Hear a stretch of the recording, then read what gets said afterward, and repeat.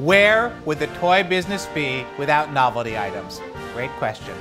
Hi, I'm Chris the Toy Guy from TTPM, and no matter who's in office or what political party they represent, you can count on some waggish toy maker to come up with something silly to capture the zeitgeist and make a little money. Well, this time it's President Trump's turn.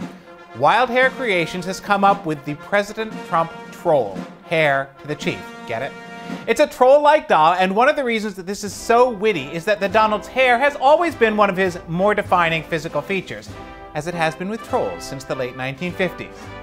The doll comes in a package with a quote, legend on the back. In fact, we left this one in the package because we think that's how most people will relate to it and probably keep it. This is a silly slash gag gift for people on either side of the aisle. After all, the original trolls were called Wishniks, and they were supposed to bring good luck to the owner. Best of all, what constitutes good luck is totally in the eye of the beholder.